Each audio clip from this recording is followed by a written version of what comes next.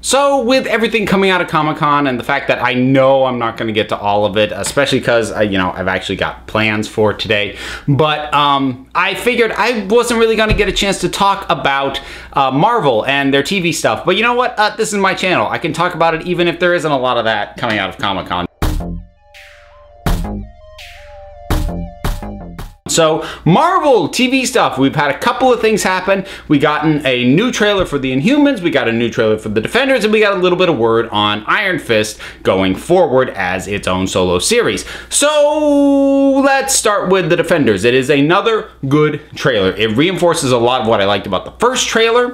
Um, I really like, given how much I severely disliked Iron Fist, I really like that pretty much all the other characters aren't taking him seriously and are kind of like, what is your deal, dude? And I'm totally down for that because if there's a character who needs to get dressed down a lot, it's Danny Rand. Uh, we get a little glimpse of Madame Gao. It looks like she is scared of Sigourney Weaver, and given how much I already like Madame Gao, uh, that is a I, am down for that. We see Elektra, so we know she's factoring into this. That makes me slightly nervous because I didn't love Elektra um, as part of the second season of Daredevil, but you know what? Maybe they found a better way to use her. And again, they show her against Sigourney Weaver, and we get a lot of voiceover from Sigourney Weaver. She, more than, well, there's basically two things going to this that I'm like, okay, that has sold me. One is her. The other is that hallway fight they keep showing us glimpses of. I'm like, that looks so good. If that can be the standard, the benchmark of the action scenes in this, this, is going to be a real good time. So there's not a lot there that we didn't already know. Now, I want to talk about the Inhumans trailer, because I didn't do a video talking about the first Inhumans trailer. I talked about it on uh, one of my podcasts,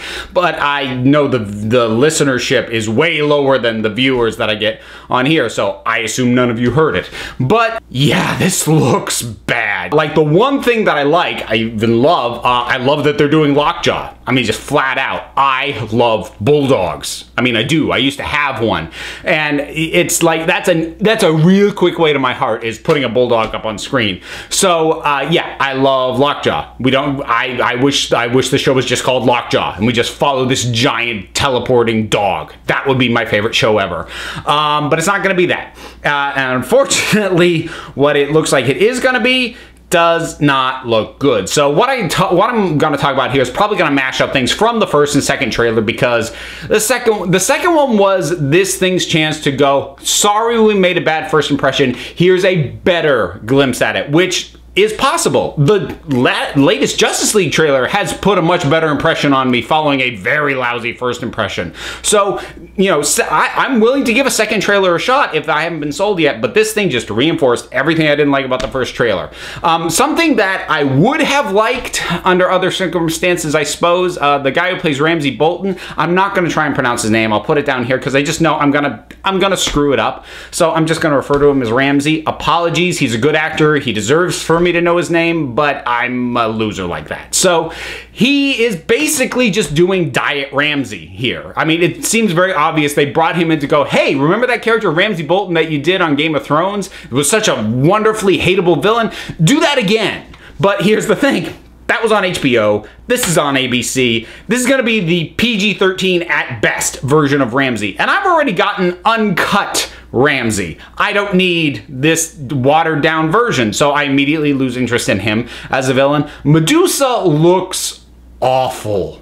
I mean, she looks surprisingly comic accurate with the hair and they kept her color scheme, and I wish I could find that admirable but it looks in such a way that it, it reminds me why, like back in the 2000s with that first X-Men movie, why they put all the X-Men in black leather and they were scared to death of depicting the costumes as comic accurate because it can look like that. But here's the big thing. Here's what really has shut down my interest in this.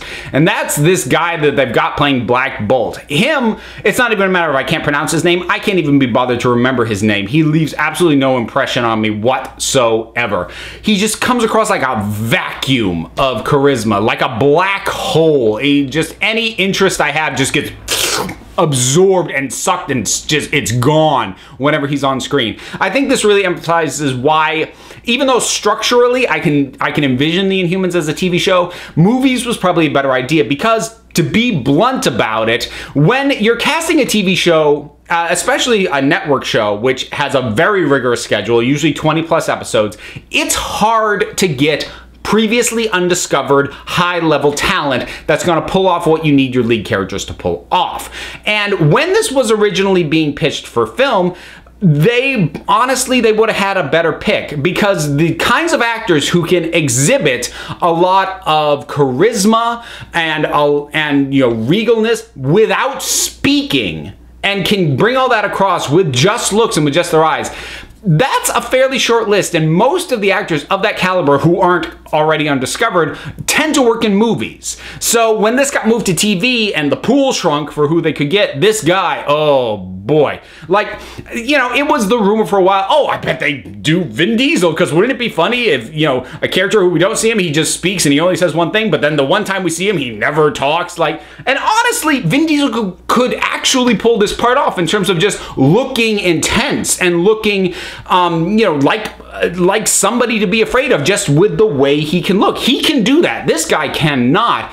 And what's more, he seems to be trying to compensate for the fact that he's basically not allowed to speak by really almost doing pantomime. I mean, this he can't just stand there and look kind of severe. He has to and, and it, like even exaggerated like the times he opens his mouth that oh gee yeah it's uh, it's not good at all, and he has to work. He's so theoretically the lead. I mean, I suppose if he really doesn't sell, they can shift who the lead is as the thing goes on, but wow like very really nothing about these trailers impressed me but he really whoo i have no interest in this show right now so the one last thing I want to talk about with Marvel related TV stuff, Iron Fist season 2 is getting a new showrunner, which is good because the first season was crap, but it's also bad because it means we get more seasons devoted to Iron Fist. And as bad as the writing and the plotting and the dialogue and all that stuff was,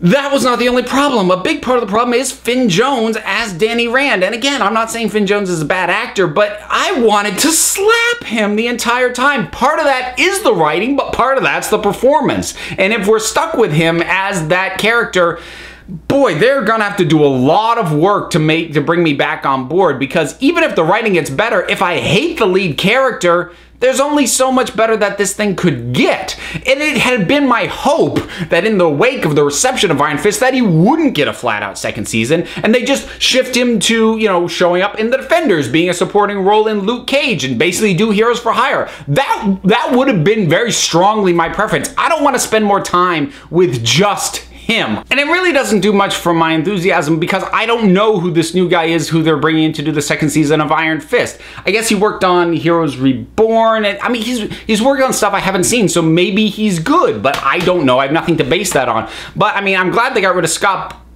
Oh crap, how did I not make that connection? Scott Buck, they didn't get rid of Scott Buck, they moved him onto Inhumans! Oh god, now I really have no interest in that show. Why, what, with the reception Iron Fist got, why would you keep employing this guy? I mean, props to you getting him off the, the franchise that he effectively destroyed, but why would you move him onto your new show that really is questionable its existence in the first? Oh, God. Well, that's a depressing connection that I had not quite made in my head. I think my brain was just rejecting the possibility that this guy was continuing to work on Marvel TV. Ugh. So that's my thought on the current state of what we know about uh, what's coming down the pike for Marvel television related stuff. Still pumped for the Defenders. Iron Fist can jump off a frigging cliff and zero interest in the Inhumans. So uh, that's where I am on those particular things. What are your thoughts on all this? Or uh, what Comic Con stuff do you wish I was talking about that I'm just not, that I have bumped instead to talk about this? Whatever your thoughts are, drop something down in the comments. Let's talk about it. Don't forget to like, subscribe, check me out on Twitter at Council of Geeks. Give a listen to the Council of Geeks podcast, available on iTunes and Stitcher. I am also one half of the Punch Like a Girl podcast, also available on iTunes and Stitcher. And until next time, this council is adjourned.